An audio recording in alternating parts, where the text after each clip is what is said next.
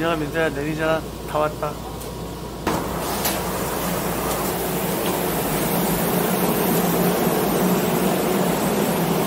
역사적인 장소 역사적인 장소. 한국 철도의 탄생역이야 여기가. 와. 우리나라 최초 철도. 어. 안녕하세요. 영상 크리에이터 한박입니다. 이곳은 인천 차이나타운입니다. 차이나타운에서 짜장면도 먹고 그리고 월미도에 가서 디스코 팡팡도 타보고 그리고 역사적인 장소를 아이들한테 소개해 주려고 이렇게 찾아왔습니다. 저희 아이들과 신나는 그런 시간을 한번 보내보도록 하겠습니다. 함께 가시죠. 훗! 야 근데 차가 엄청나게 많다. 근데 짜장면 냄새 엄청나는데? 여기 밑에 밑에 풍경도 좀 찍자. 밑에 풍경. 와 이거 이거 먹어볼래? 이거 공갈빵인데 맛있으면 사줄게. 음. 만다복 여기서 제가 예전에 하얀 짜장을 먹었었는데 여러분 하얀 짜장 드시지 마세요 진짜 맛없어요 다른 메뉴를 드시길 적극 추천합니다 중국에 놀러 갔을 때 탕후루와 같은 맛인지 궁금해서 샀는데요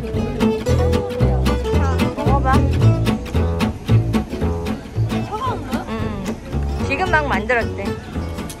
우. 어때 이게 조금 달라붙어? 아 옆으로 해서 깨물어서. 응. 빼. 그렇지. 응. 역시 차이나타운이네요. 입에 달라붙지 않고 맛있었습니다. 그 차이나타운 관광지의 차이나타운을 느낄 수 있는 그런 거리입니다.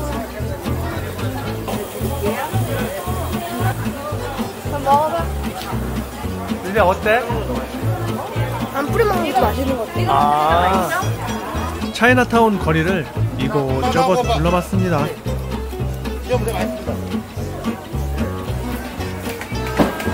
화덕만두가 유명해서 왔는데요. 줄 서서 먹을 정도로 인기가 좋네요. 화덕안이 궁금해서 봤는데요. 만두를 독특하게 굽네요. 붙어서 안 떨어지고 끝까지 잘 구워지는 화덕만두. 고기만 있어요? 고기, 단호박, 호박, 밭네 가지. 아 네. 여기가 한정원 중국의 졸정원을 모델로 해서 소규모로 만든 곳이라고 하네요.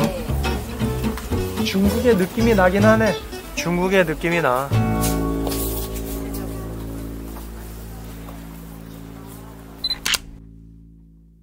우리가 역사적인 장소야.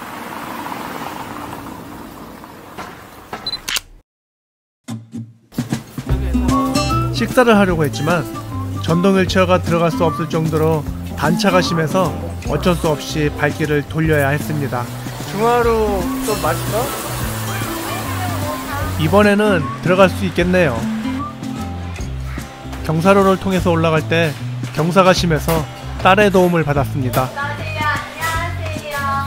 식당이 넓어서 불편함 없이 네. 자리를 잡을 수 있었습니다. 사층짜장은 짜장, 짬뽕, 사천짜장, 마파두부를 시켜서 먹었는데요. 전체적으로 음식도 깔끔하고 모두 맛있었습니다. 마파두부밥. 이게 뭐라고? 사천 짜장. 이거 사천짜장? 이거는 짜장.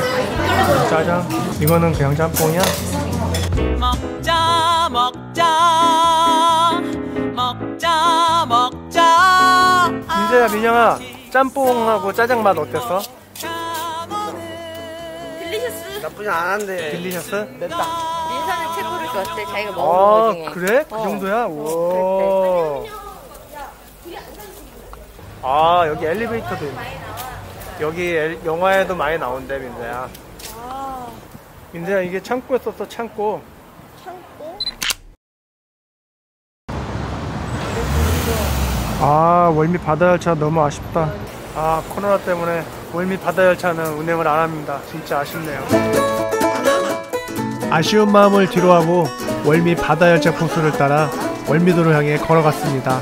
여기가 1950년 9월 15일 날 새벽에 유엔군이 연합작전을 해서 인천 상륙작전을 했던 곳 중에 하나인 녹색 해안이라는 곳이래. 와, 사람 진짜 많다. 남매 쌍둥이가 놀이기구를 보더니 타고 싶다고 해서 타라고 했는데요. 디스코 팡팡을 타고 재밌었는지 다음에 또 타고 싶다고 하네요. 같이 타지 못하지만 즐겁게 응원이라도 해야겠습니다. 이 녀석들 집에서는 자주 다투는데 게임할 때만큼은 대동단결이네요. 둘이서 풍선을 부지런히 터뜨리고 작지만 인형 선물까지 받았습니다. 10개 성공 축하해.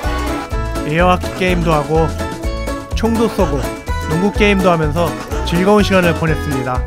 날씨가 좋아서인지 가족 단위로 바람 쐬러 많이 나왔더군요. 마지막으로 등대를 보면서 인천에서의 시간을 마무리했습니다.